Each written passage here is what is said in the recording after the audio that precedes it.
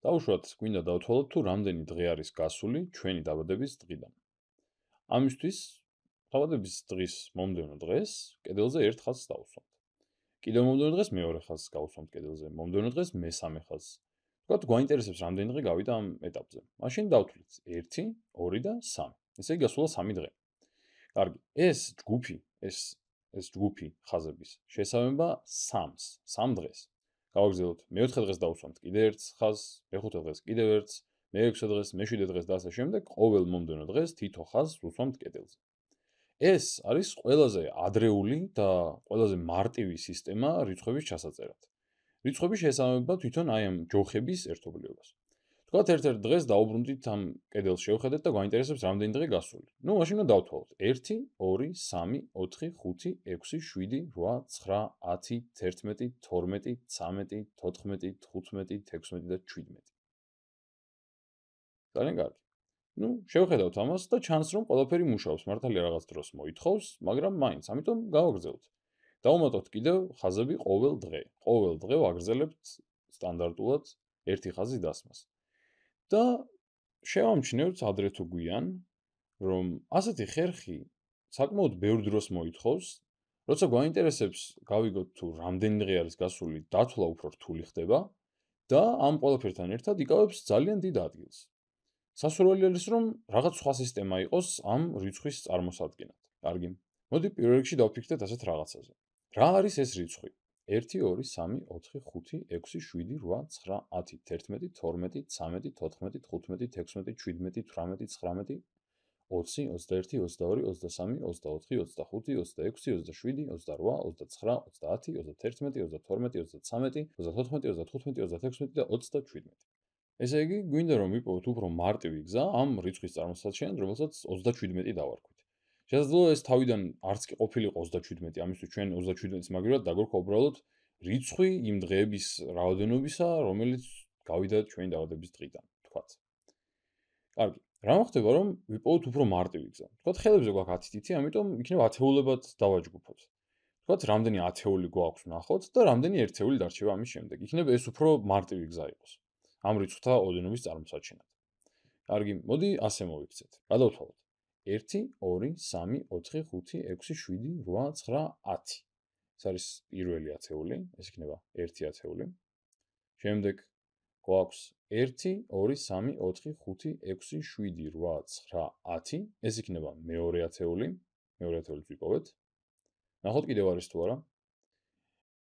1 2 3 4 5 6 7 8 9 10 კიდევ ერთი ათეული ყოფილა. ესეც შემოვხაზოთ. გვაქვს ესე იგი უკვე მესამე ჯგუფი ათეულების და დაგვრჩა ბოლოს 1 2 3 4 5 6 და 7. ესე იგი მთელი ათეული არ გამოვიდა, მაგრამ დარჩა რაღაც ერთეულები. ამიტომ მას არ შემოვხაზოთ. კარგი. ესე იგი ასეთი მარტივი გზით უცებ გამოვსახეთ ეს რიცხვი. ანუ ის თუ რამდენი დღე გავიდა. ყველაფერს დათვლა აღარ არის საჭირო, უბრალოდ ვიტყვით რომ გვაქვს 1 2 და 3 ათეული.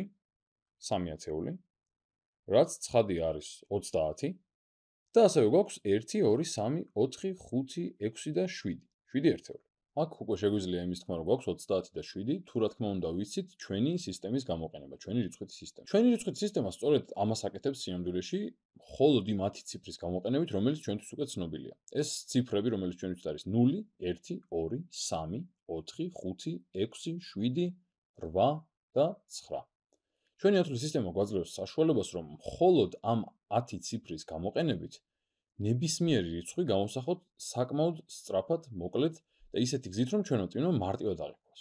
მაშინ თუ გინდა რომ ჩავწეროთ 3 ათეული, ამისთვის მოიქცეთ შემდეგნაირად. დავწეროთ 3-იანი ათეულების ადგილას. 3-იანს ვწერთ ათეულების ადგილას, როგორც წესია. ხოლო ერთეულების ადგილას უნდა დავწეროთ 7. 1 2 3 4 5 6 და 7. ესე იგი უნდა დავწეროთ 7. საიდან ვიცით რომ უნდა დავწეროთ 3 და 7-იანი? ნუ ეს უკვე ვისწავლეთ, მარჯვნიდან ვიწყებთ და მარჯვენა არის ჯერ ერთეულები და ეს 7-იანი გვეუბნება რომ გვაქვს 7 ცალი ერთეული. შემდეგ ერთით მარცხნივ გადავდივართ და უკვე ათეულების ადგილას ვართ. შემდეგ ვიხილავთ რომ კიდე ერთი მარცხნივ გადასვლა ასეულების ადგილას გადაგვიყვანს, მაგრამ ჯერ ეს არ გვინდა. გვაქვს 3 ათეული და 7 ერთეული. ესე იგი ეს გვეუბნება ზუსტად იგივეს, რასაც აი ეს რიცხვების ერთობლიობა, უბრალოდ ჯოხების ერთობლიობა. ესე იგი ეს გამოხატავს 3 ათეულს, ეს გამოხატავს ზუსტად 3 ათეულს, ხოლო ეს, აი ხალხს გადავალთ 7-იანი, გამოხატავს 7 ცალ ერთეულს. შეგვიძლია ეს გადავწეროთ ჩვენ სისტემაში შემდეგნაირად. ეს არის სტოლი 3 ათეულს დამატებული 7 ერთეული. დამატებული 7 ერთეული. ან კიდევ სხვაგანად რო გადავწეროთ, პირდაპირ ასე ვთქვათ, მათემატიკურად, რას გულისხმობს 3 ათეული? 3 ათეული გულისხმობს უბრალოდ რიცხვ 30-ს. დავწერთ რიცხვ 30-ს, ხოლო 7 ერთეული უბრალოდ 7-ს გულისხმობს. ესე იგი 30-ს დამატებული 7. ესე იგი ეს ყოფილა 37-ის წარმოჩენის სამი სხვადასხვა გზა. იმედი ამან კარგად წარმოგიჩინეთ თუ რამდენად მოხერხებული არის ჩვენი რიცხვითი სისტემა. აი 37-იც კი უკვე იმდენად რთული დასასრულელი ხდება ასე თითო-თითო ხაზის მიხედვით.